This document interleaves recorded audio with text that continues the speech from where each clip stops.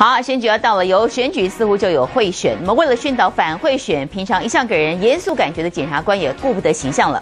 高雄地检署这位有美女检察官之称的蔡意如，扮起了非常女粉墨登场。另外，在士林地检署还有很多检察官展现了其他才艺，弹吉他表演。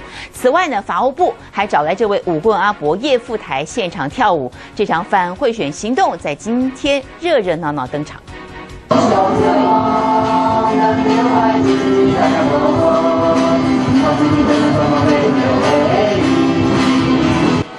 正式告别法袍，穿上戏服，粉墨登场。来自高雄地检署的美女检察官叶意如，学起年轻人扮 cosplay，这回演出非常女和检察官同事在舞台上一搭一唱，让平常严肃办案的司法官牺牲这么大，目的只有一个：反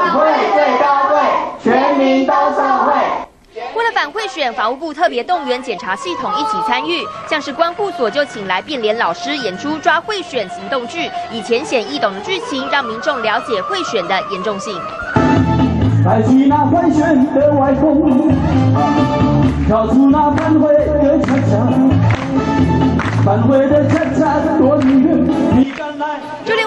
贝叶富台也自编歌词相挺到底，让人惊讶。不过更令人好奇的是，检察官平常都在办案，为了这个活动，会不会增加工作负担？